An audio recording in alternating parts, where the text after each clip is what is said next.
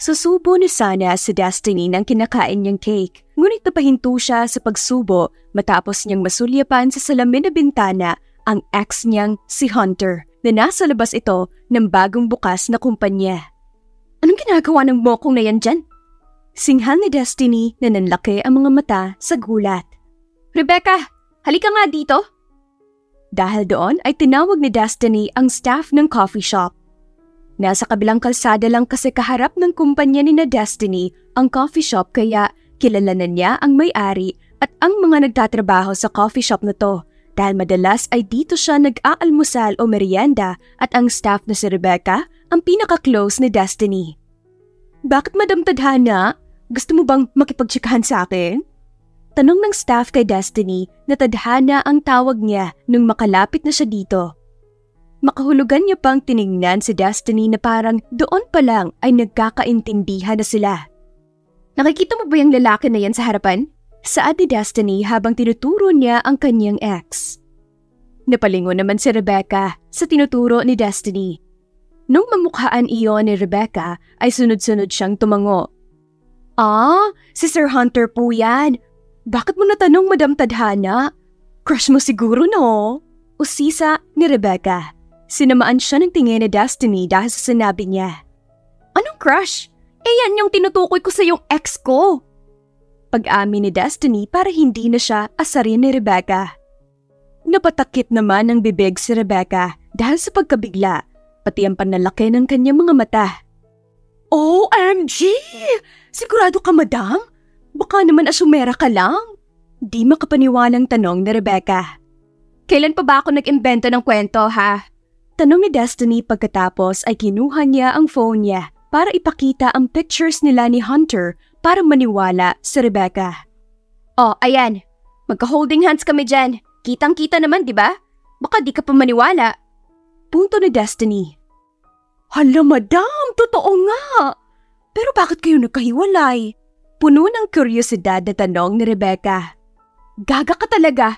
Eh di ba siya nga yung kinikwento ko sa yung ex ko? Eh di alam mo na kung ano ang rason ng breakup namin. Mabilis na tugon ni Destiny.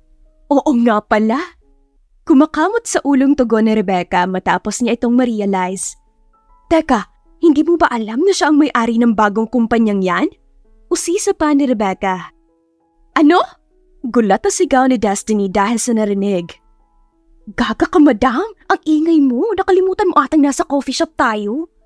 Puna ni Rebecca dahil sa pagsigaw ni Destiny at pinagtitinginan na sila ng iba pang customers. Napatingin naman si Destiny sa mga ito at mabilis na humingi ng pasensya. Sorry, nabigla lang kasi ako. Bulong ni Destiny kay Rebecca. Pero sigurado ka ba? Si Hunter ang may-ari niyan? Pag-uusisa din ni Destiny. Siguradong sigurado ako madam. Kapag sa akin ka kumuha ng chika, asahan mong totoo yan. Kasi naman madam, Galing yan dito nung isang araw tapos nakausap niya si boss. Ayun, narinig ko na sinabi niyang pagmamay-ari niya yan. Mahabang paliwanag ni Rebecca. Walang hiya yan. Gusto pa ata makipagkompetensya sa akin? Singhal ni Destiny na naniniwala na sa sinabi ni Rebecca. Ilista mo na lang tong kinain ko ah. Babalik na ako sa kumpanya. Kailangan tumalaman ng kaibigan ko. Paalam ni Destiny na nagmamadali pang umalis at hindi na hinintay pa ang sasabihin ni Rebecca. Lucille! Lucille! Sigaw ni Destiny na tinatawag ang kanyang best friend habang tumatakbo siya papasok sa opisina ni Lucille. Silang dalawa kasing magkaibigan ang may-ari ng kumpanyang ito. Nag-decide sila na maging partner na lang din sa business dahil pareho naman itong gusto nila. Ano yun? Parang madaling-madali ka ah. May nangyari ba? Nagtatakang po na naman ng best friend ni Destiny nung marinig nito ang nakakabinging sigaw ni Destiny. Kailangan mo tong malaman, Lucille. Panimula ni Destiny kaya naman nakinig ng husto si Lucille. Di ba nung nakaraan pa tayo nangangapa at nag-iisip kung sinong may-ari ng bagong kumpanya dyan sa tabi? You know what? Nalaman ko na kung sino. Pagpapatuloy ni Destiny. Sino nga? Ang tagal mo namang sabihin? Diyos ko, Reklamo ni Lucille na halatang hindi na ito makapaghintay. Si Hunter Bess! Ang walang hiyang Hunter na yon ang may-ari. Tuluyang pag-amin ni Destiny. What? Sigaw din na tanong ni Lucille dahil sa sobrang pagkabigla. Ang reaksyon niya ay kapareho rin ng naging reaksyon ni Destiny sa coffee shop kanina. As in yung ex mo? What the hell? Nananatsa ba siya? Dagdag pang sigaw ni Lucille. Diba? Nakakagigil naman yung lalaking yun. Tingin ko talaga sinasadya yun ng lalaking yun eh. Para magpagkompetensya sa atin at syempre, para magpapansin. Reklamo ni Destiny. Bakas din sa kanyang mukha ang pagkainis. Paano yan? Anong gagawin natin? Dagdag pa na tanong ni Destiny na tila ay nababahala siya. What if pumunta ka sa kumpanya nila, pumasok ka sa loob, tapos magmanman ka? Tignan mo rin kung anong ginagawa nila. Suhestyon ni Lucille. Tapos ito pa, Bes. May dare ako para sa'yo.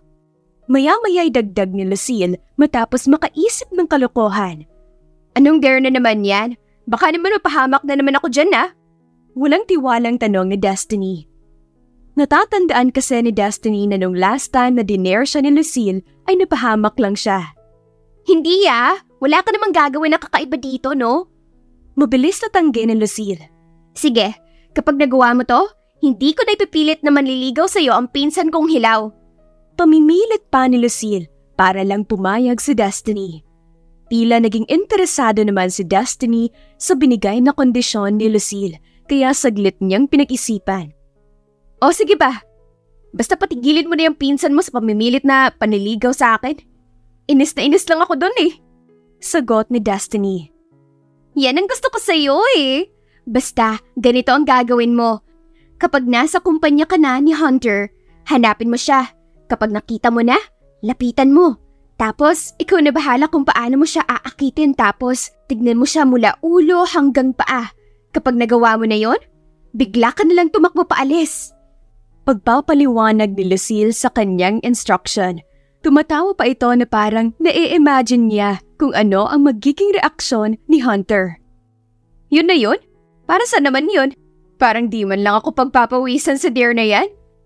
Kumpiyansang tugon ni Destiny na tila madali lang yon para sa kanya. Oo, yun lang naman. Ang goal lang natin dito ay makurious siya sa ginawa mo. More or worst, baka mag-assume siya na may gusto ka pa sa kanya. Paliwanag pa ni Lucille.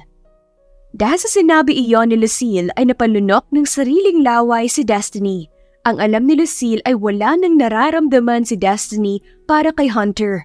Ngunit ang totoo ay may natitira pa siyang pagmamahal para dito sa lalaki. Ayaw lang aminin ni Destiny iyon sa kaibigan dahil sigurado siyang tatalakan lang siya nito ng tatalakan kapag nalaman ng totoo. Kinalma muna ni Destiny ang sarili bago siya pupunta sa kumpanya ni Hunter para naman kahit papaano ay hindi siya ganun kabahan kapag nakita na niya ito. Oh, ano yan? Bakit kailangan mo pang mag-ayos? Di mo na kailangan pang magpaganda para sa lalaking yun, Bess. Si Tani Lucille matapos niyang pagmasdan si Destiny na panay na panay ang pag-makeup. Bakit? Masama ba? Siyempre kailangan posturang-postura ko para maakit sa akin si Hunter, di ba? In character dapat ang aktingan at datingan ko. Tumigil naman si Destiny sa paglagay ng lipstick para sabihin ang dahilan niya.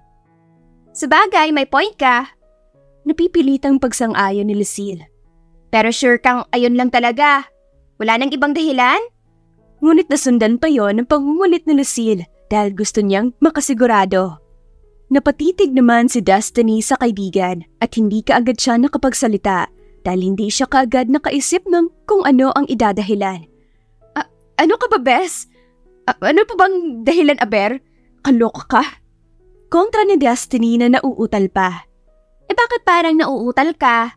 Parang di ka pa sigurado sa sagot mo. Puna pa ni Lucille. Ay, ewan ko sa'yo, Bes. Kung ano-ano nang iniisip mo dyan, eh syempre, nagulat ako sa tanong mo, sinong di mauutal doon?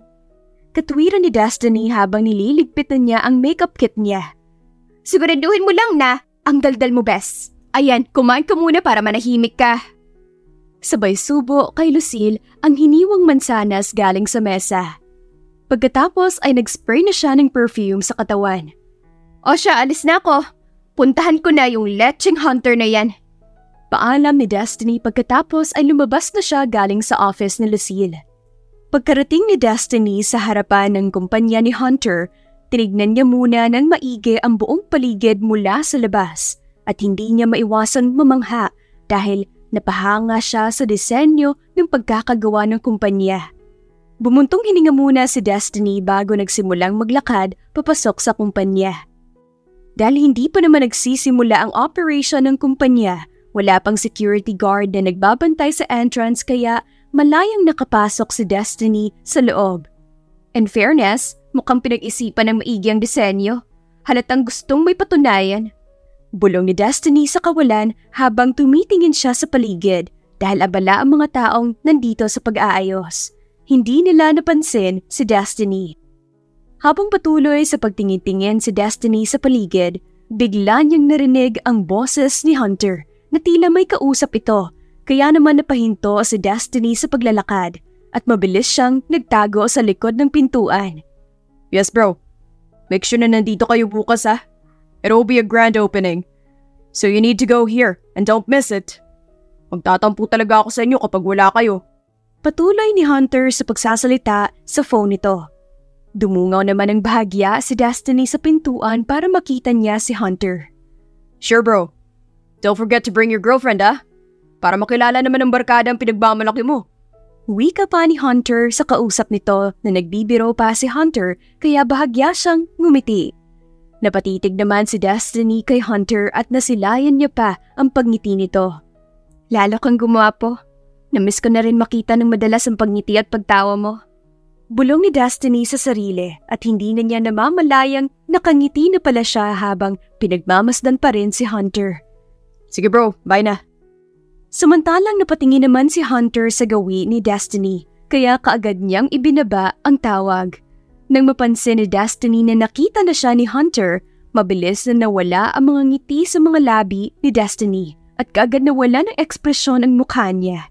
Naisip kaagad ni Destiny na gawin ang plano nila ni Lucille kaya buong tapang na naglakad si Destiny papalapit kay Hunter at huminto siya sa harapan ng mesa nito. What are you doing here? Nauutal na tanong ni Hunter na napaayos pa siya ng pagkakaupo. Hindi naman nagsalita si Destiny, pero bigla niyang hinila ang necktie ni Hunter kaya napalapit ito sa kanya. Gamit ang isang kamay ay hinawakan ni Destiny si Hunter sa may tenga. At dahan-dahan niyang pinaglakbay iyon pababa sa panga ni Hunter. Hindi naman nakareact si Hunter at hindi niya alam kung anong gagawin dahil na rin hindi niya ito inaasahang mangyari. Pagkalipas ng ilang segundo ay binitawan na ni Destiny si Hunter at bigla niya itong tinulak kaya muling napaupo ng maayos si Hunter. Bahagya pang umawang ang bibig ni Hunter na tila gusto niyang magsalita. Pero dahil sa nangyayari ay parang nawalan siya ng boses o umurong na ang kanyang dila. Samantalang si Destiny naman ay puno ng kaseksihan na dahan-dahang naglakad papalapit kay Hunter Bahagya niya pang inikot ang inuupo ang swivel chair ni Hunter para mapaharap ito sa kanya. At nung may pagkakataon na si Destiny, ay bigla na lang siyang umupo sa mga hita ni Hunter paharap nito. Mahinang napadaing si Hunter. Gusto pa sanang ngumiti ni Destiny, pero pilit niyang pinigilan ng sarili para hindi siya mawala ng focus. What, what, what are you doing to me? Nauutal pa rin na tanong ni Hunter na bumilis pa ang paghinga nito. Hindi na naman nagsalita si Destiny at nilagay niya lang ang isang daliri sa harapan ng bibig ni Hunter para hindi na ito magsalita. Pagkatapos ay nilapit ni Destiny ng todo ang mukha niya kay Hunter kaya napakurap-kurap ang binata. Gamit ang daliri ay nilaro at hinimas-himas ni Destiny ang mga labi ni Hunter habang bahagya siyang gumagalaw sa hita ni Hunter. Pagkatapos ay nilapit ni Destiny ang mga labi niya sa labi ni Hunter. At nang mapansin niyang bahagyang umawang ang bibig ni Hunter, bigla na lang tumayo si Destiny sa pagkakaupo at mabilis na lumabas mula sa room na iyon ng kumpanya. Laglag naman ang panga ni Hunter na naiwan habang nakatingin sa pintong nilabasan ni Destiny. What's wrong with her? Nakainom ba siya? Pero hindi naman siya amoy alak. She's not messing with me, right? Takhang sunod-sunod na tanong ni Hunter dahil puno ng katanungan ng isipan niya at kuryosidad. Samantalang si Destiny naman ay tumigil muna sa pagtakbo ng tuluyan na siyang makalabas mula sa kumpanya ni Hunter at kasalukuyan na siyang nasa parking ng kanilang kumpanya. What the hell, Destiny Aguerrero? Ginawa mo talaga yun? Hinihingal na di makapaniwalang tanong ni Destiny sa sarili dahil kahit siya ay nagulat sa sariling ginawa. Habol hininga si Destiny na nakahawak pa sa dibdib habang nagpapahinga at iniisip niya ang mga nangyari. Shucks talaga! Nakakahiya ang ginawa ko! Paano ko yung kinakaya? Patuloy na tanong ni Destiny sa sarili pero kahit anong tanong niya ay walang sasagot sa kanya. Nung walang napala sa pagtatanong si Destiny sa sarili, nagpatuloy na lang siya sa paglalakad para puntahan na ang kaibigan niya at ibalita ang nakakalokang nangyari. Sa kabilang banda naman, hindi pa rin makapaniwala si Hunter sa mga ginawa ni Destiny. Kaya dahil sa sobrang pagka-curious, nagdesisyon siyang puntahan si Destiny sa kumpanya nito para kumprontahin. Pagkarating ni Hunter sa kumpanya ni Destiny, hinarang kaagad siya ng guard kaya hindi siya makapasok. Sorry sir, maigpit pong hinabili ni Ma'am Destiny na huwag ka pong papasukin kapag nagtangka ka pong pumasok dito. Sinserong paghingi ng paumanhin ng gwardya. Sumimangot naman si Hunter dahil sa nalaman. Sige sir, hindi ako magpupumilit na pumasok pero may importante akong sasabihin sa boss mo. Pwede mo ba siyang tawagin? Hintayin ko na lang siya dito sa labas. Pakiusap naman ni Hunter. Saglit namang tumitig ang gwardya kay Hunter dahil nagdadalawang isip pa siya kung susundin ito pero sa bandang huli ay pumayag na lang din siya dahil mukha namang nagsasabi ng totoo si Hunter. Sige po sir, hintayin mo lang dito si mama. Paninigurado pa ng gwardya. Tumangulang si Hunter at bagyang gumiti kaya umalis na ang gwardya at pumasok na sa loob. Nang nasa harapan na ng office ni Destiny ang gwardya, bigla niyang naisip na baka pagalitan siya ni Destiny at baka tanggalan siya ng trabaho kaya nagbago ang isip niya. Dahil doon ay di na lang tumuloy ang gwardya at nagmamadaling bumalik sa entrance. Ngunit nagtaka ang gwardya dahil wala na sa entrance si Hunter kaya napakamot na lang sa ulo ang gwardya. Walang kamalay-malay ang gwardya na kanina habang pumapasok siya ay nakasunod sa kanya si Hunter papasok at hindi niya ito napansin na nagtago sa loob. Kaya naman nung lumabas ang gwardya, nagmamadaling pumunta si Hunter sa pinanggalingan ng gwardya at kung di siya nagkakamali ay doon ang office ni Destiny. Nabasa pa ni Hunter ang nakalagay sa pinto na Office of CEO Destiny Aguirrero. Dahil doon ay nasigurado na ni Hunter na tama ang napuntahan niya. Bubuksan na sana niya ang pinto ngunit napansin niya na medyo nakaawang ito at kasabay pa nun ay narinig niya ang malakas na pagtawa ni Destiny kaya hindi na lang umalis si Hunter sa kasalukuyang pwesto niya at bahagyang itinikit na lang niya ang tenga sa pinto para marinig ng gusto ang boses ni Destiny. Kung nakita mo lang talagang reaksyon ni Hunter, Bess. Matatawa ka talaga. Rinig ni Hunter sa pagsasalita ni Destiny na bakas pa sa tono nito ang pagtawa. Nasisigurado ni Hunter na may kausap ito sa loob at si Lucille iyon. Narinig ko pa nga na mahina siyang umungol. Tapos, panigurado, tinigasan niyon. Patuloy ni Destiny sa pagkwento at nasundan iyon ng sabay na pagtawa nila ni Lucille. In fairness, galing mo dun, Bessa. Naku for sure, takang-taka na yun sa ginawa mo. Komento naman ni Lucille. Hayaan mo siyang magtaka. Deserve na yun. Eh sa dami-dami ba naman ng pwedeng tayuan ng kumpanya? Dito pa talaga niya naisipan sa katabi natin? Kulang pa nga yan eh. Lalo ko siyang guguluhin para pagsisisihan niya ang desisyon niyang nagtayo pa siya ng kumpanya dito. Pagbabanta ni Destiny na wala siyang kamalay-malay na naririnig pala ni Hunter ang mga sinasabi niya. Ah, ganun pala ang gusto mo. Manda ka, babawi ako sa'yo. Bulong ni Hunter sa sarili habang tumatango-tango. Dahil doon ay umalis na si Hunter habang nag-iisip kung paano siya makakabawi kay Destiny dahil hindi siya papayag na naisahan siya ng kanyang ex. Habang naglalakad palabas ng kumpanya, Nawala sa isip ni Hunter na tinakasan niya lang pala ang gwardya kaya bigla siya nitong nakita ngayon. Sir, saan kayo galing? Ba't kayo pumasok? Sinabi ko na pong bawal eh. Baka ako pang pagalitan ni ma'am. Kinakabahang tanong ng gwardya. Ikaw naman kasi kuya, di ka naman sumunod sa usapan. Pagdadahilan ni Hunter. Pero may solusyon ako dyan. Di ka naman mapapagalitan kung hindi niya alam na pumasok ako, di ba? Besides, di naman niya ako nakita sa loob. At hindi niya malalaman na pumasok ako kung walang magsasabi, tama? Huwag ka na lang maingay. Secret na lang natin yun, kuya. Suhestyon ni Hunter dito. Sigurado ka dyan, sir ah. Huwag mong sasabihin kay ma'am. Kinakabahan pa rin paninigurado ng gwardya. Oo naman, akong bahala sa'yo. Ikaw lang naman tong di sumunod sa usapan eh. Sabi mo tatawagin mo boss mo, tapos di mo naman ginawa. Punto pa ni Hunter. Eh pasensya ka na sir, natakot lang ako na baka ako matanggalan ng trabaho. Dahilan pa ng gwardya, hinayaan na lang ito ni Hunter at bumalik na siya sa kumpanya niya na muling bumalik sa pag-iisip kung paano makakabawi kay Destiny. Pagkaraan ng ilang oras pagkatapos magayos ni Destiny ng mga gamit sa office niya, lumabas na siya ng kumpanya para umuwi na. Napahinto si Destiny sa paglalakad matapos siyang tawagin ng gwardya. Ma'am, pinapabigay po sa iyo ni Sir Hunter. Wika ng gwardya habang inaabot kay Destiny ang isang bouquet ng bulaklak. Pa- para sa akin? As in yung nasa katabing kumpanya ang nagpapabigay? Tanong ni Destiny na hindi makapaniwala. Peace offering daw po, ma'am. Sagot naman ng gwardya. Napatingin muna si Destiny sa gawi kung saan pinark ni Hunter ang sasakyan kanina. Pero wala na ito doon ngayon. Pagkatapos ay sumilip naman siya sa loob ng kumpanya nila para tignan kung palabas na ang kaibigan niyang si Lucille. Pero hindi niya pa ito natatanaw kaya naman mabilis na kinuha ni Destiny ang bulaklak mula sa gwardya. Akin na kuya, itatapon ko na to. Sa susunod, huwag ka na pong tatanggap ng galing sa kanya. Habilin pa ni Destiny.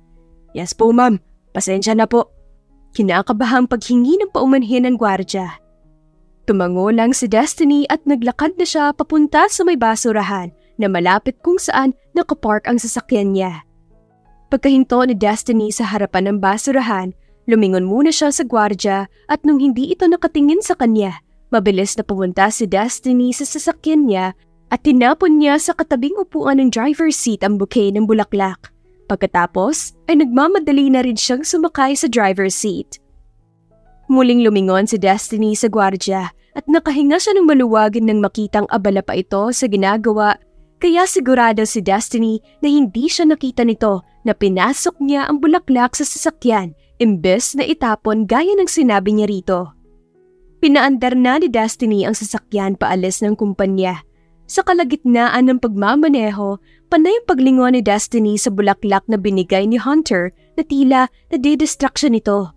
Hanggang sa napapangiti na lang si Destiny sa kawalan habang iniisip na si Hunter ang nagbigay sa kanya ng bulaklak na hindi pa rin siya makapaniwala. Peace offering lang daw, Destiny. Ano bang ine-expect mo? Tanong ni Destiny sa sarili sa gitna pa rin ng pagmamaneho. Hindi kaya may gusto pa rin siya sa akin? Muling tanong ni Destiny sa sarili na medyo nakaramdam pa siya ng kilig at muli siyang napangiti na mapagtanto ni Destiny na sunflower pang bulaklak ang binigay sa kanya ni Hunter.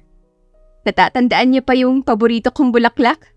Saad ni Destiny habang inaalala ang mga panahong sila pa ni Hunter kung saan palagi siyang binibigyan nito ng sunflower. Nang makarating na si Destiny sa bahay niya, Nanatili muna siya sa sasakyan at inamoy-amoy niya ang binigay na bulaklak ni Hunter. Napapikit na lang si Destiny dahil sa amoy ng sunflower na nakakapagpakalma sa kanya. Habang inaamoy ni Destiny ang sunflower, bigla niyang nakita ang maliit na note na nakalagay sa bouquet nito. Kaya naman, excited na kinuha iyon ni Destiny para basahin. Nakangiti pa si Destiny habang nagbabasa. Nakita kong tinapon ito ng isang lalaki sa basurahan matapos i-reject ng nililigawan niya. Sayang naman kaya kinuha ko ulit sa basurahan para ibigay sa'yo. From Hunter Pogi. Unti-unting nawala ang ngiti sa mga labi ni Destiny hanggang sa matapos siyang magbasa dahil sa nakasulat. Dahil doon ay napasigaw na lang si Destiny sa pagkainis na tila para siyang bulkan na gustong pumutok. Ah! Sira ulo ba siya? Anong akala niya sa akin? Tagakuha ng basura ng iba? Tagapulot ng inayawan? Pwisit siya? Pwisit! Pagalit na singhal ni Destiny na patuloy siya sa pagsigaw. Walang ano-ano ay lumabas na siya ng sasakyan at padabog na itinapon ni Destiny sa basurahan ang bouquet of sunflowers. Inis na inis si Destiny dahilan para mawalan siya ng ganang kumilos. Dahil doon ay tinamad na itinapon ni Destiny ang sarili sa kama para matulog na lang. Habang nakapikit si Destiny, bigla niyang naisip na mayroon palang grand opening ang kumpanya ni Hunter kaya mabilis siyang napadilat at napangiti pa animoy may masamang binabalak. Kinabukasan, habang nasa kumpanya na sila Destiny, napadaan si Lucille sa opisina ni Destiny at napansin niyang ngiting-ngiti si Destiny kaya di niya mapigilang magtaka. Anong nangyari ngayong araw? Ba't ngiti-ngiti at good mood ka? Kakaiba yan sa'yo ah, nakakapanibago. Puna ni Lucille kay Destiny Nilingon naman ni Destiny ang kaibigan na natatawa pa. Wala ka na bang gagawin? Tara, coffee shop tayo. Imbis na sagutin ang tanong, ay tinanong lang din iyon ni Destiny pabalik. Wala naman. Sakto, nagugutom na rin ako. Tapos gusto ko lang, light lang din kainin ko. Gusto naman ni Lucille. Pero wag mong ibahin ang usapan. Sagutin mo munang tanong ko. Hindi ka makakaligtas sa akin. Dagdag ni Lucille. Kaya nga sa coffee shop tayo, di ba? Kasi doon ko sasabihin at mas maganda doon mo makita, okay? Punto ni Destiny. Tumango-tango naman si Lucille habang seryosong nakatitig kay Destiny. Okay. Tipid pang sagot ito. Pagkarating sa coffee shop, humanap talaga si Destiny ng pwesto kung saan tanaw na tanaw nila mula doon ang kumpanya ni Hunter. Umorder ka na habang may hinihintay pa ako. Utos ni Destiny kay Lucille Nagtataka man si Lucille sa kung ano ang hinihintay ni Destiny ay sumunod pa rin siya dahil gutom na talaga siya kaya tinawag na niya ang staff na si Rebecca. Kayo pala mga ma'am ang mga suki naming bigatin. Bungad ni Rebecca kila Destiny at Lucille. Teka, bakit pala nandito kayo? Hindi ba kayo invited dyan sa grand opening ng kumpanya ni Sir Hunter? Maya-maya ay takang tanong ni Rebecca matapos niyang ma-realize iyon. Kami? i-invite nun? Mas malabo pang mangyari yon kaysa sa kalabuan ng mata ko. Natatawang tangge ni Lucille. Tsaka kahit naman i-invite kami nun, asa siyang a-attend kami. That's not gonna happen over my dead body. Gatong ni Destiny kahit deep inside ay gusto niyang umattend at makita si Hunter. Pagkaalis ni Rebecca para asikasuhin ang order nila, may tumawag naman kay Destiny sa phone kaya mabilis niya itong sinagot. Hello kuya? Malapit na po ba kayo? Bungad ni Destiny sa kausap nito sa kabilang linya. Samantalang si Lucille ay tahimik lang na nakikinig. Ah, sige po kuya. Basta, siguraduhin niyo lang po na si Hunter ang tatanggap niyan ha? Thank you. Bye.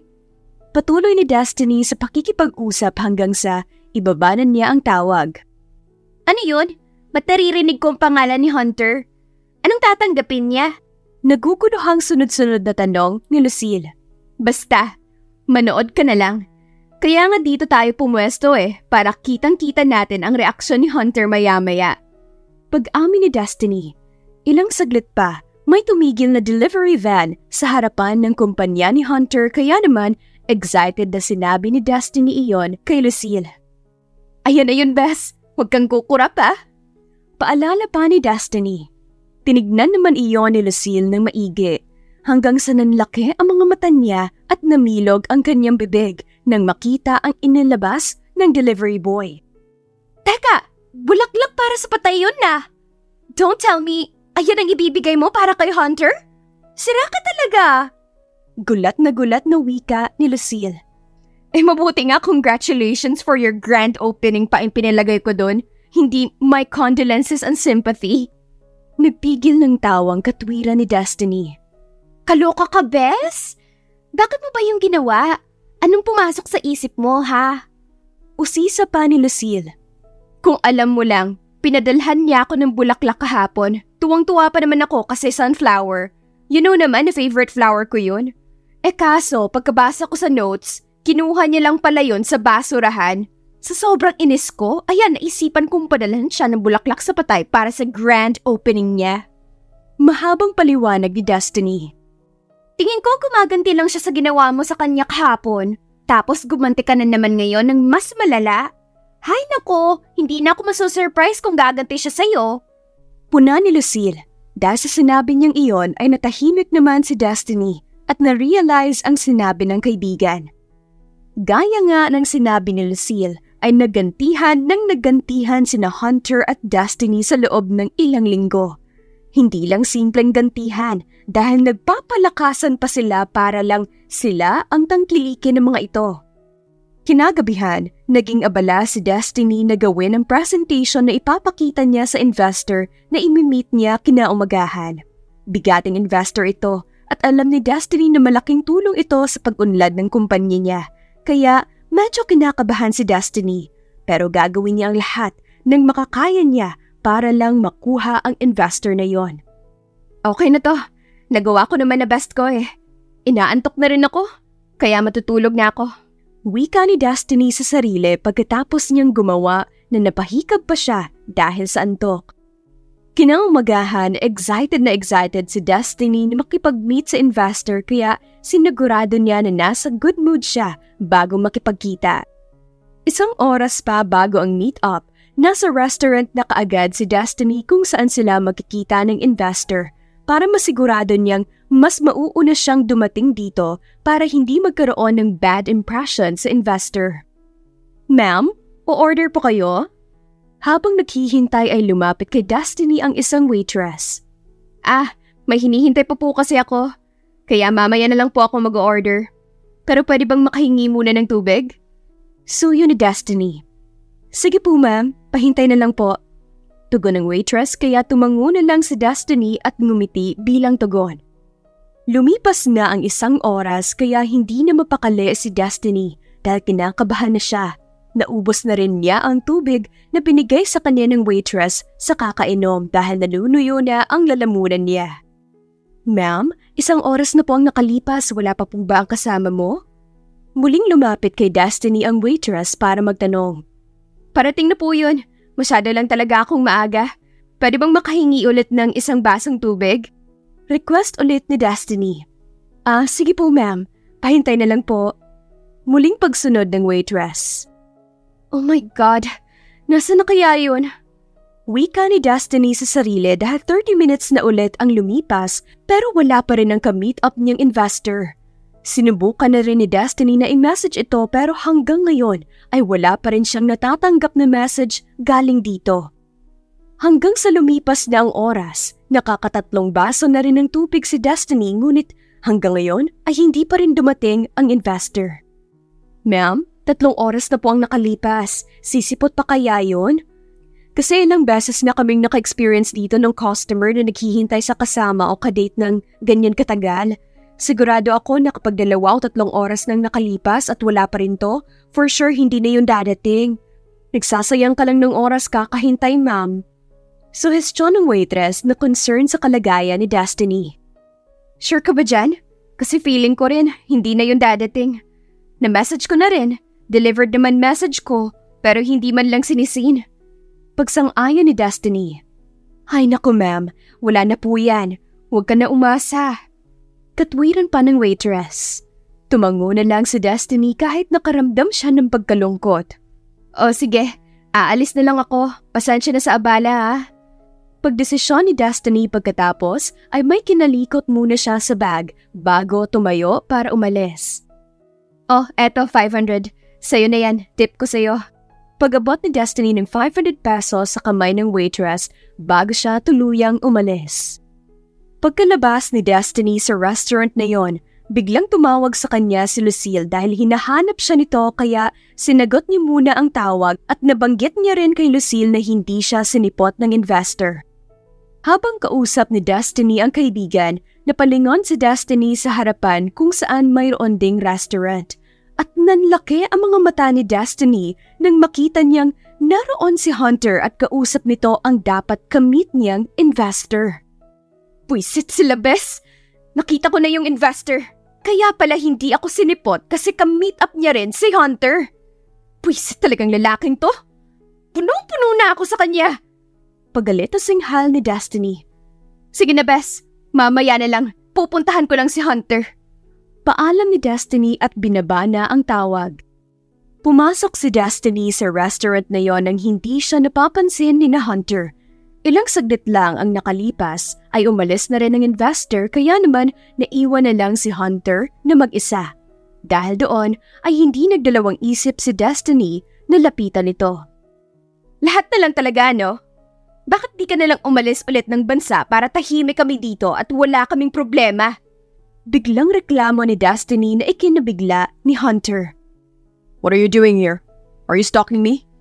Seryosong tanong ni Hunter. Stok-stok mo mukha mo. Ano, mangiiwan ka na nga sa ere? Mga agaw ka na rin ng investor? Takot na takot ka bang malamangan? Galit na punto ni Destiny na tila mayroon pa siyang hugot. What are you talking about? Wala akong inaagaw sa'yo, okay? If si Mr. Asuncion ang tinutukoy mo, hindi ko siya inagaw sa'yo. I also sent a business proposal to him and he told me na dito kami mag-meet. I don't have any idea na ikaw pala yung tinutukoy niyang dapat niyang imi-meet today. Pero since mas maganda raw ang offer ko sa kanya, kaya nagdesisyon siya na sa akin nalang makipag-meet. Paliwanag ni Hunter. Masyado namang unprofessional ang investor na yan. Glad he chose you over me kasi ayoko ma-associate ang business ko sa ganyang klaseng investor. Bye! Katwiran ni Destiny pagkatapos ay mabilis na siyang umalis. Nagtuloy-tuloy pa ang palamangan, bangayan at palakasan ng dalawa hanggang sa isang araw. Pababa na pababa ang sales natin compared sa last month. Kasalanan to ni Hunter eh. Reklamo ni Destiny na sumugod pa sa office ni Lucille. Aray ko ha, ang sakit mo naman sa tenga. Mabibingi ako sa iyo eh. Alam ko naman yan, okay? Nakita ko na yan. Reklamo din ni Lucille. Eh paano kasi? Nakakagigil na ng sobra yung lalaking yan eh. Simula nang dumating siya, nagkandaloko-loko na. Konti na lang talaga, aabangan ko siya sa kalsada tapos sasagasaan ko siya. Singhal pa ni Destiny. Hindi na lang inintindi ni Lucille ang sinabi ng kaibigan, kundi abala lang ito sa pagpo-phone. Paano yan eh baka lalo pang madagdagan ng pagkainis mo sa lalaking yan? Saad ni Lucille habang pinapakita kay Destiny ang screen ng phone niya. Trending ngayon ang kumpanya ni Hunter dahil mayroon silang press con kasama ang bagong set of models nila. Lalo pat ang isa doon ay kilalang kilala na model.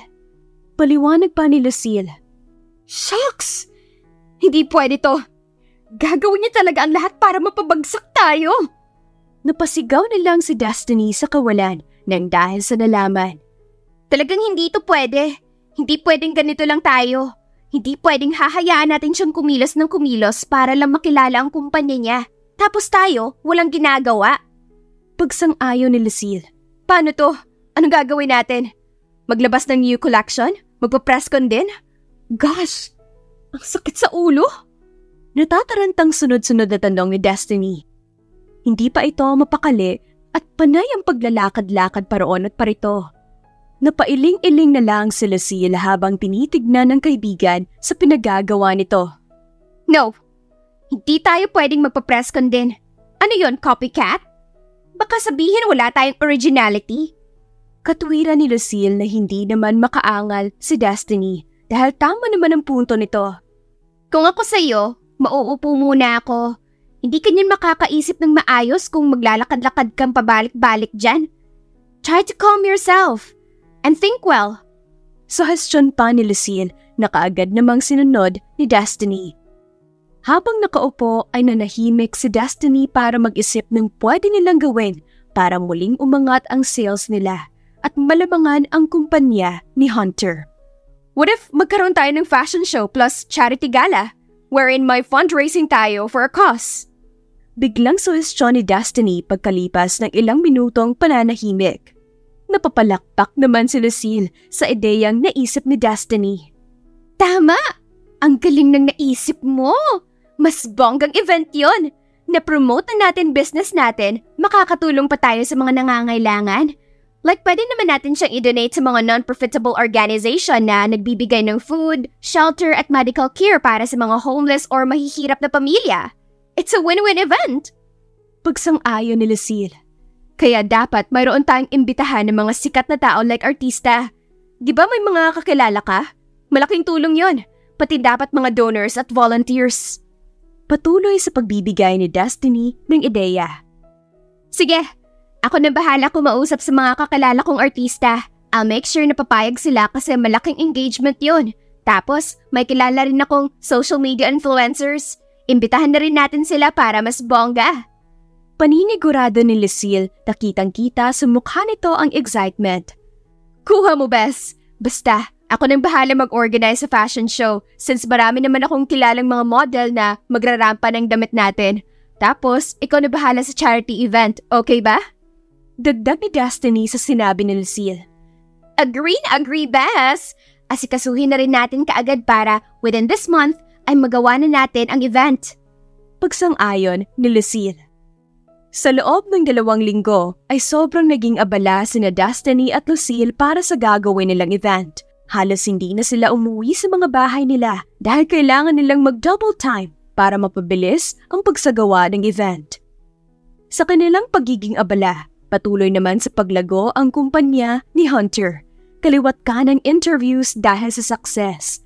Napabilang pa sa list of top rising companies in the Philippines ang kumpanya niya dahil sa success nito kahit bagong kumpanya pa lamang. Si Hunter kasi ay kahit siya na ang CEO ng kumpanya niya, siya rin ay mismong bahagi ng models nito. At sa katunayan ay kinuha pa siya ng isang malaking brand para maging calendar model. Dahil doon ay mas lalong nakilala si Hunter maging ang kanyang kumpanya. Nalaman nila Destiny at Lucille ang balitang iyon pero kahit ganun ang nangyari, hindi sila sumuko at hindi nawala ng pag-asa kaya nagpatuloy pa rin sila sa kung ano ang plinano. Bes, kaka-receive ko lang ng message ni Sharina. Yung sinabi ko sa yung artista na biglang sumikat. Katunayan, Philippine sensation siya ngayon.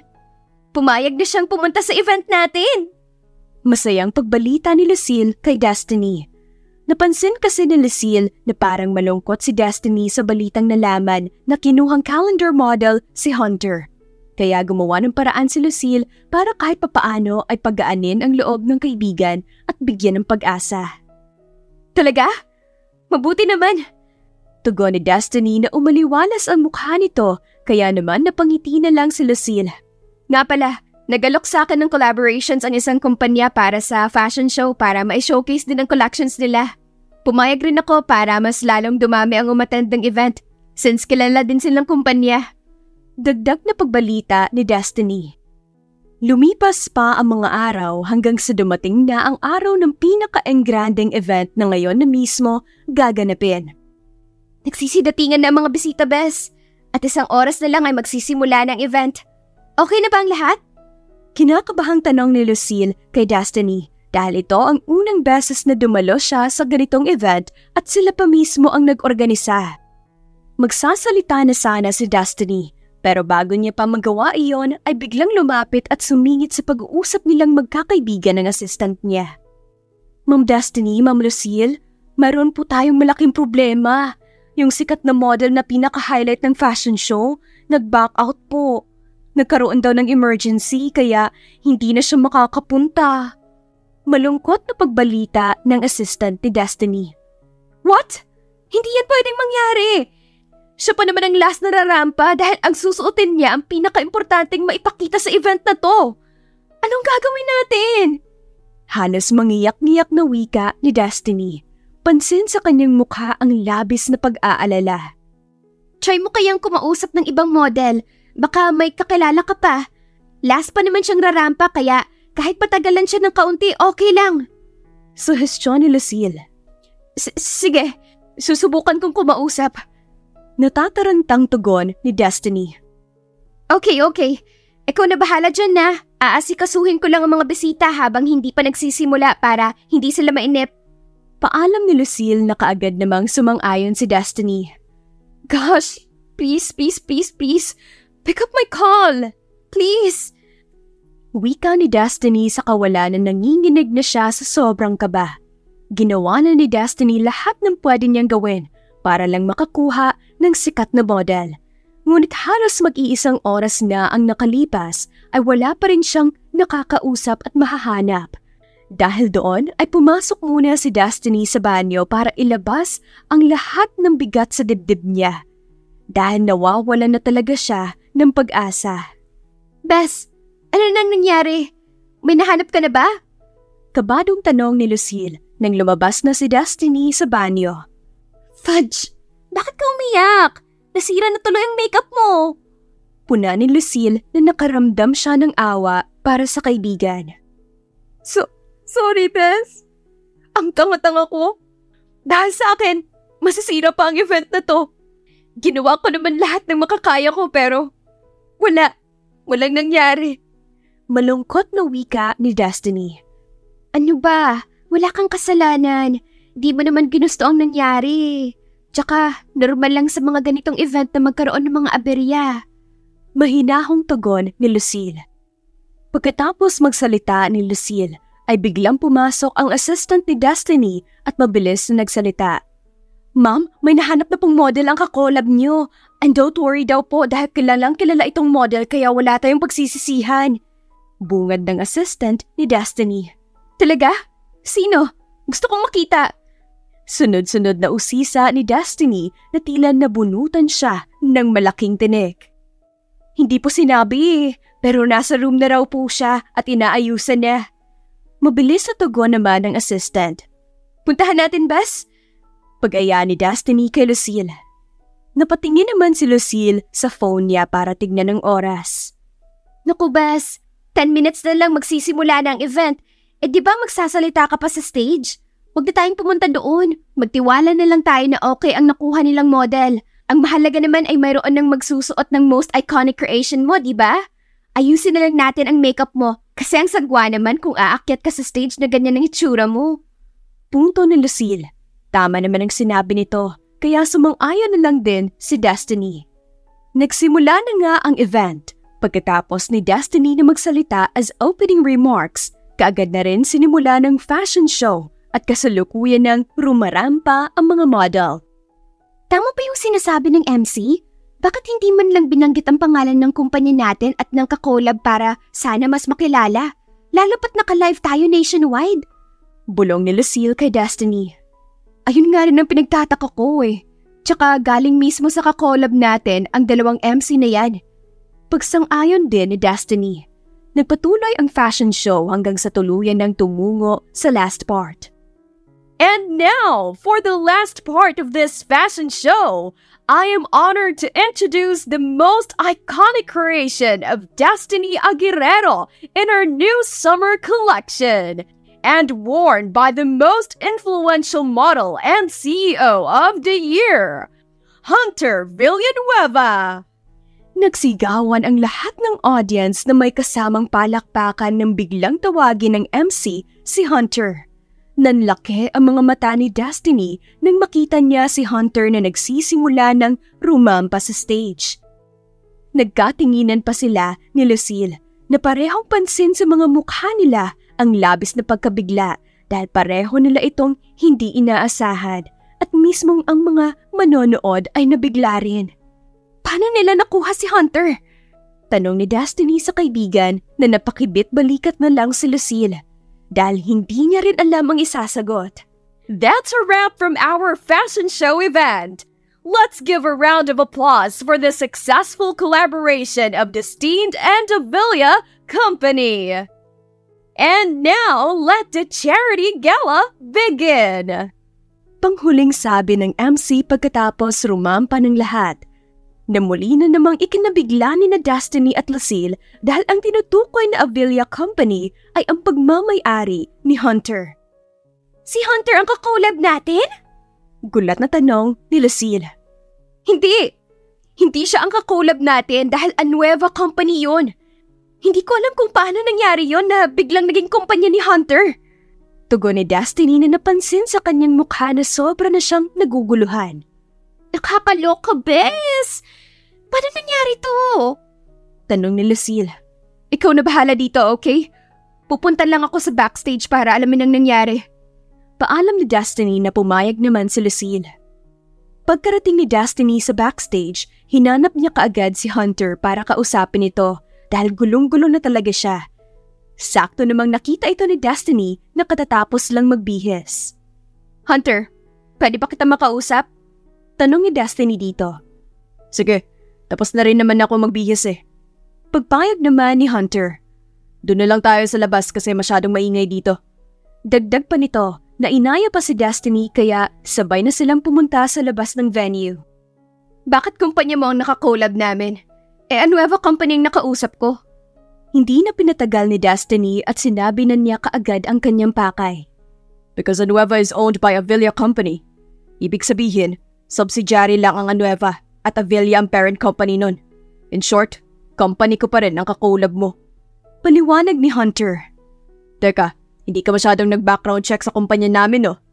Bungakala ko pa naman ay pumayag ka talagang makakolab ako. Yun pala, di mo alam na kumpanya ko rin yun. Puna pa ni Hunter.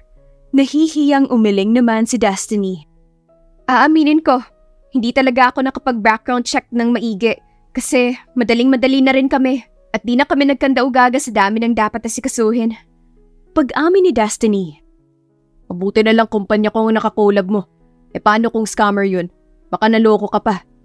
Wika ni Hunter na baka sa kanya ang pagiging concern. Nga pala, thank you. Thank you pala sa pagpayag mo na maging model. Kung hindi ka pumayag, wala sanang magsusuot ng pinaka-importanting creation ko. Sinserong pasasalamat ni Destiny dito. Wala yun. Masaya ako na kahit doon man lang ay nakatulong ako sa'yo. Punto ni Hunter. Bakit mo ba ginawa yun? Tsaka, bakit ka nakipag-collab sa akin? Eh itong mga nakaraan lang, panay panggantihan natin. Usisa naman ni Destiny. Kasi sa mga nangyaring yun, na-realize ko na masyado na tayong matanda para sa gantihan na yun. Mas makakabuti sa atin ang healthy and friendly competition lang. Masuyong paliwanag ni Hunter.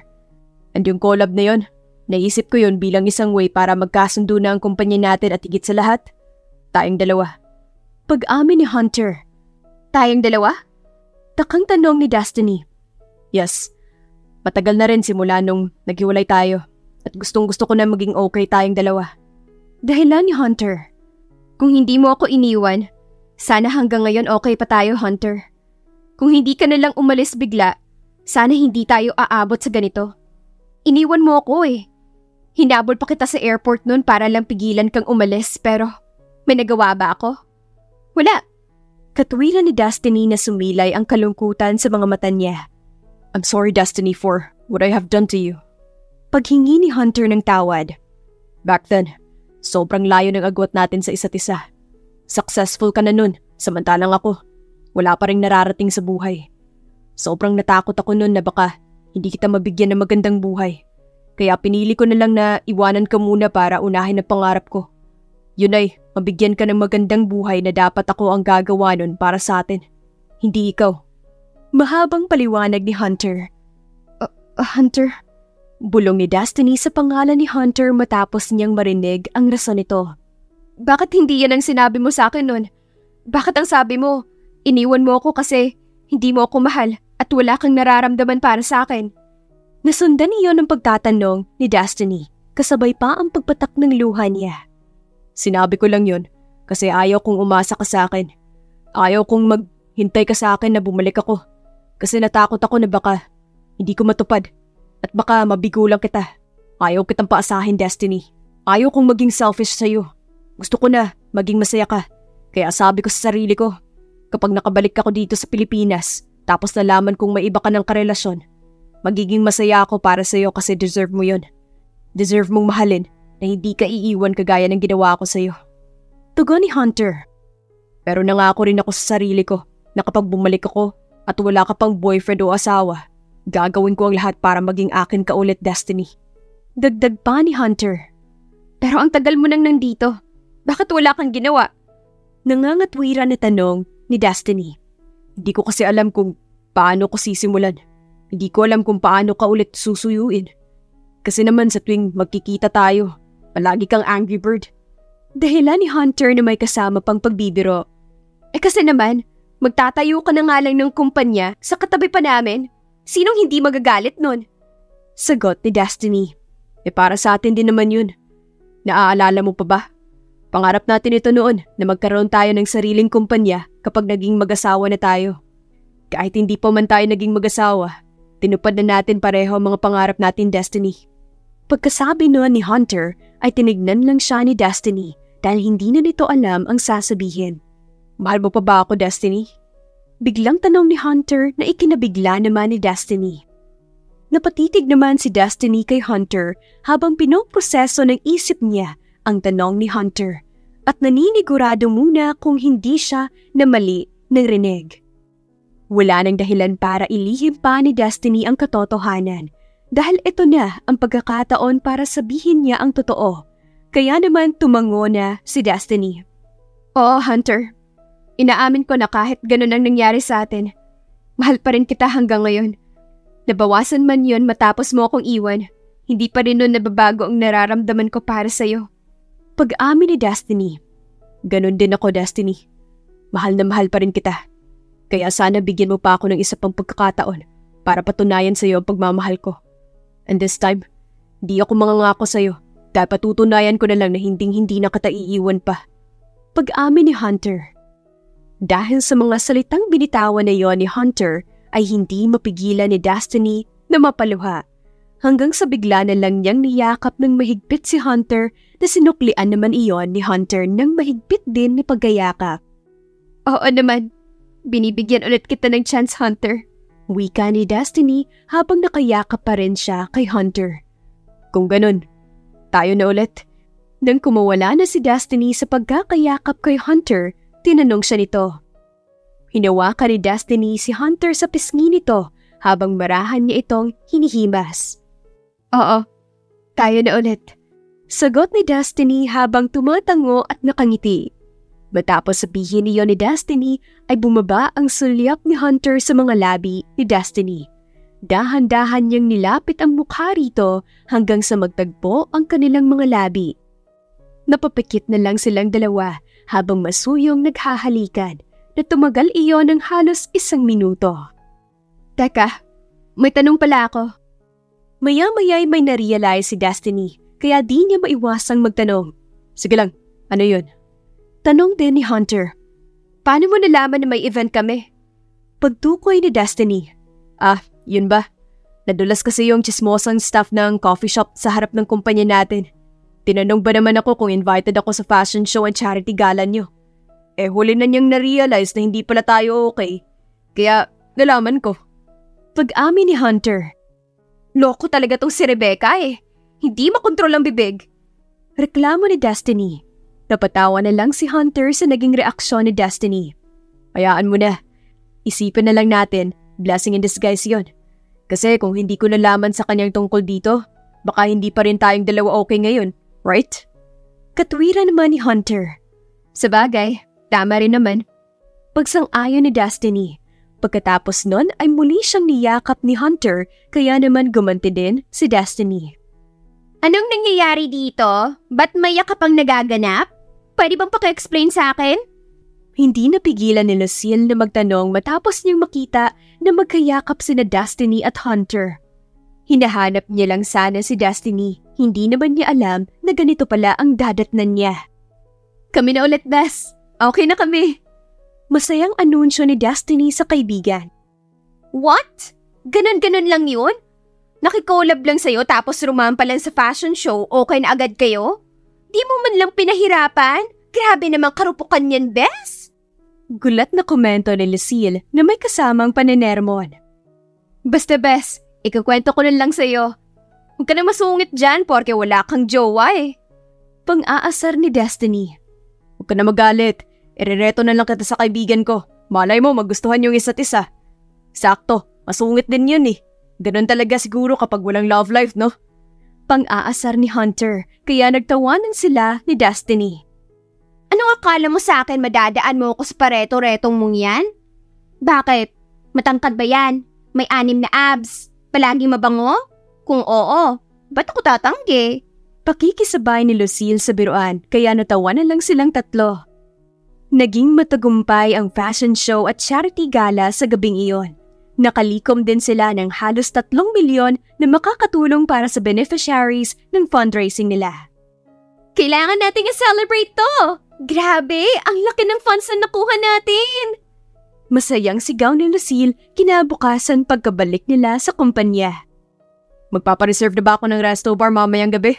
Suhestyon ni Hunter dahil nandito rin siya sa kumpanya ng magkaibigan.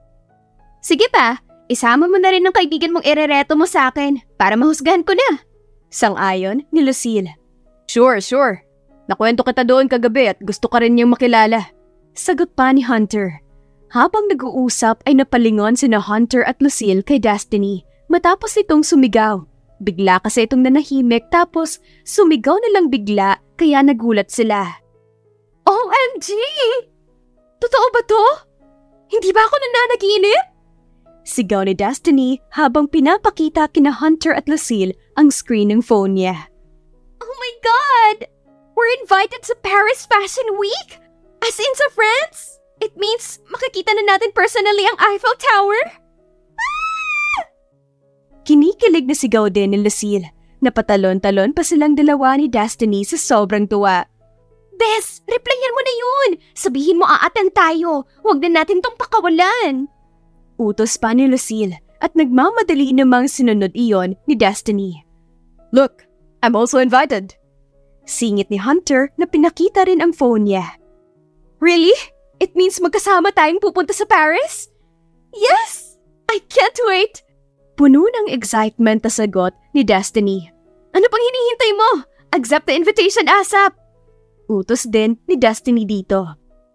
Mayroon lang silang isang linggong preparation bago pumunta sa Paris. Kaya naman, ginawa nila lahat ng dapat nilang gawin. Tapusin lahat ng dapat tapusin at ihanda lahat ng dapat dalhin para hindi na sila magkaroon ng aberya. Bawat araw ay naging exciting para sa kanila dahil pangarap talaga nilang makapunta sa ganitong event noon pa man. At hanggang ngayon ay hindi sila makapaniwalang makaka-attend na rin sila. Dumating na ang araw ng pag-alis nila papuntang Paris. Habang naghihintay sa airport, nagtaka sina Destiny at Lucille kung sino ang kasama ni Hunter habang naglalakad ito papunta sa kanila. Hi babe. Hello Lucille. Excited much? Bungad ni Hunter nung makalapit na ito sa kanila. Tinatanong pa ba yan? Eh simula nung nakaraang araw pa kami excited eh. Katuwiran ni Lucille. Anyway, sino siya? Tanong ni Lucille na ang tinutukoy ang kasama ni Hunter. Hello, I'm Agustin. Sinama ako ni Hunter kasi gusto kanya raw ipakilala sa akin. Bungad naman ng lalaking kasama ni Hunter at nagpakilala ito. Really? It means ikaw yung nirereto sa akin ni Hunter? Usisa ni Lucille na kung makipag-usap ay parang matagal na silang magkakilala dahil hindi man lang siya nakaramdam ng pagka-awkward. Oh yeah, pero I guess sinama lang ako ni Hunter dito para may kasama ka eh.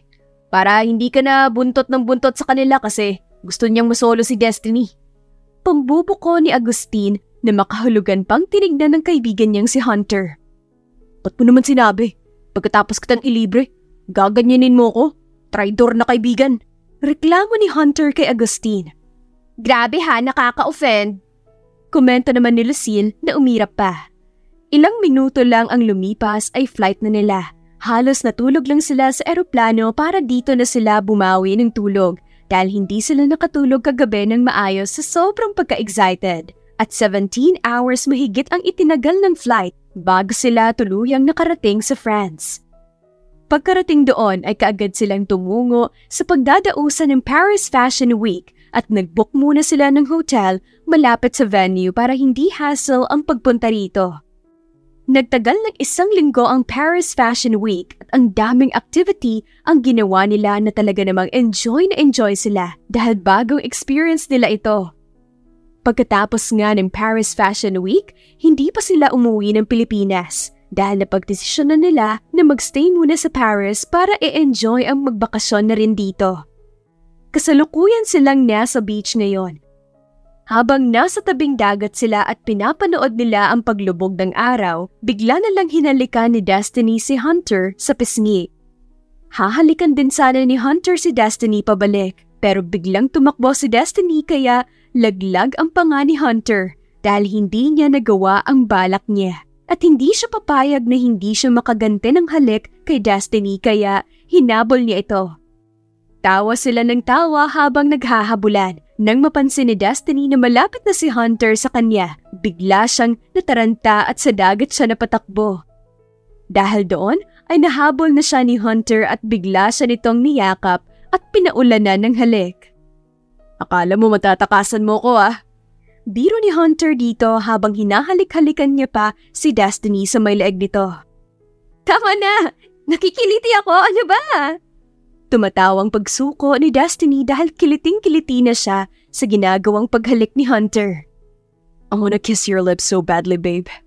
Nangaakit na bulong ni Hunter sa tenga ni Destiny na napaliyad pa si Destiny dahil sa kaliting nararamdaman niya sa pagbulong ni Hunter. Dahil doon ay pinalo ni Destiny sa balikat si Hunter at napatingin pa si Destiny sa paligid. Daming tao oh, nakakahiya kaya. Pagdadahilan kay Hunter. Alam ko kung paano, walang makakakita. Pagkasabi na ni Hunter ay bigla na lang niyang hinawakan si Destiny sa balikat at sabay silang lumubog sa ilalim ng dagat. Habang nasa ilalim sila ng dagat na siniguradong walang makakakita sa kanila, ang mabilis na hinalikan ni Hunter si Destiny sa mga labi nito na masuyong tinanggap naman ito ni Destiny at ginantihan ang paghalik ng kanyang nobyo. Nang muli na silang umahon ay habol hininga silang dalawa at pareho na silang natawa sa kanilang ginawa. Kinaumagahan pagkatapos ng pagpunta nila sa beach, ngayon na ang last day nila dito sa Paris at mamayang gabi na ang flight nila pabalik sa Pilipinas. At sinadya nila na ngayon, ang huling pupuntahan nila ay ang Eiffel Tower bago sila tumungo sa airport. Nagising si Destiny na wala si Hunter sa tabi niya, kaya bumangon na siya para hanapin ito at ang mga kasama niya. Ngunit sulusin lang ang nadatnan ni Destiny sa sala. Nasaan sina Hunter at Agustin Bess? Tanong ni Destiny sa kaibigan habang naghahanap siya sa paligid. Umalis na sila. Nagpasama si Agustin sa mall dahil may bibilhin daw ito. Pagising ka na raw ay pumunta na lang tayo sa Eiffel Tower. Doon na lang daw tayo magkikita-kita. Tugon naman ni Lucille habang nagliligpit ng mga gamit. Ganun ba? O sige, maliligo na muna ako. Sagot pa ni Destiny at nagpaalam dito. Pagkalipas ng isang oras ay kaagad nang pumunta sina Destiny at Lucille sa Eiffel Tower kung saan sila makikita-kita nila Hunter at ang kaibigan nitong si Agustin. Sakto namang pagkarating nila sa Eiffel Tower ay kararating lang din nila Hunter dito. Hapon na rin kasi kaya naman naglilibot-libot na sila sa paligid ng Eiffel Tower. Sumubok din sila ng iba't ibang klaseng pagkain na dito lang nila matitikman. At syempre, hindi mawawala ang pagkuha ng mga larawan para mayroon silang memories na babalikan paglipas ng mga araw, buwan o kahit ilang taon pa man ang lumipas. Hoy, lovebirds! Dito kayo magpa-picture sa Eiffel Tower! Ang ganda ng sunset oh! Saktong-sakto sa inyong dalawa! Maya-maya ay tinawag ni Lucille sina Destiny at Hunter para kuhaan niya ito ng larawan. Talikad kayong dalawa, tapos magdikitin niyo ang mga ulo niyo, tapos gumawa kayo ng malaking puso gamit magkabilan yung kamay. Pagbigay ni Lucille ng instruction sa dalawa na kaagad namang sinunod ng mga ito. Okay, three, two, one, tada! Pagbilang pa ni Lucille. Ngayon naman, magharap kayong dalawa. Humawak ka Destiny sa balikat ni Hunter at ikaw naman Hunter sa waist ni Destiny. Tapos mag-kiss kayo. Panibagong instruction ni Lucille.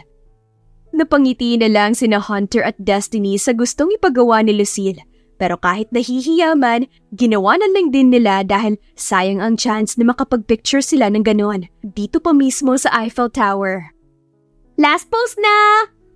Pagkasabi na ni Lucille ay video recording na ang ginawa niya pero inakala ni Destiny ay picture pa rin ang gagawin. Samantalang si Hunter ay alam ng video recording na iyon dahil ito talaga ang pinagplanuhan nila kanina habang mahimbing pa ang tulog ni Destiny sa hotel. Okay, sa last post, lumuhod ka sa harapan ni Destiny Hunter. Muling instruction ni Lucille. Walang sabi-sabing lumuhod si Hunter sa harapan ni Destiny. Pagkatapos ay inilabas niya sa bulsa ng kanyang suot na polo ang isang singsing. Napatakip naman ng bibig si Destiny matapos niyang makita ang singsing na inilahad sa kanya ni Hunter. Destiny, I know you're the only one I want to share the rest of my life with. Senserong pangunang wika ni Hunter habang diretsyong nakatitig sa mga mata ni Destiny. When I look into your eyes, I can see a reflection of the two of us and the life I hope we'll share. Pagpapatuloy ni Hunter sa pagsasalita. Sa pagkakataong ito, hindi na mapigilan ni Destiny na mapaluha dahil sa halo-halong emosyon na nararamdaman niya ngayon. Just like our names, you're the only Destiny I will always hunt as your hunter. Destiny, I'm on my knees in front of you, and I want to ask you, will you do me the honor of becoming my wife? And will you make me the happiest man alive? Mahabang pagtatanong ni Hunter. Matapos na sabihin iyon ni Hunter, ay bigla na lang naghiyawan ang mga tao sa paligid na nakakita sa kanila. At ang iba pa sa mga ito ay chinicheer si Destiny ng say yes, say yes. Kahit wala pang pag-cheer nila kay Destiny, kahit hindi gawin ni Hunter ang proposal sa publiko at sa harap ng maraming tao, iisa lang ang magiging sagot ni Destiny. At alam niya iyon sa sarili na iyon ang gusto niya at iyon ang sinisigaw ng kanyang puso. Kaya naman sunod-sunod na tumango si Destiny. Yes, I can't think of anything I want to do more than spend the rest of my life with you. Yes, Hunter, I will marry you. Sagot ni Destiny na matapos niyang sabihin iyon ay muling nagsigawan ng mga tao sa paligid na may kasamang palakpakan. Kahit hindi kilala ng mga ito sina Hunter at Destiny, ay panay ang pag-congratulate ng mga ito sa kanila na taos puso namang pinasalamatan ng dalawa. Talaga namang love finds its own way para pagtagpuing muli sina Hunter at Destiny. Ang kanilang relasyon ay isang patunay na sa kabila ng kahit ano pamang balakid, sa kabila ng kahit ano pang pagsubok, at kahit paghiwalayin man sila ng tadhana, kung sila talagang dalawa ang para sa isa't isa, darating ang tamang panahon para muli silang magkita at muling magkasama para ipagpatuloy ang kanilang nasimulan na pagmamahalan at patatagin ito hanggang sa kanilang huling hininga at magpakailanman. Wakas. Maraming salamat po sa patuloy na pagsuporta at pakikinig sa mga kwento ng Inday series. At dahil dyan, shout out po sa ating mga avid listeners kagaya ni na Rosemary Corpus from City of San Fernando, La Union, Jane Adam from Doha, Qatar, Santos family from San Rafael, Bulacan, Bel Pungasi from Malaysia, at hello din to Maris Jonko from Tuburan, Cebu, Stonehaven Residences from Barangay Granada, Bacolod City, at Elian Ancheta from Milan, Italy, at hello din to Gloria Escobar from Cagayan Valley, Philippines. Hanggang sa muli po at ingat!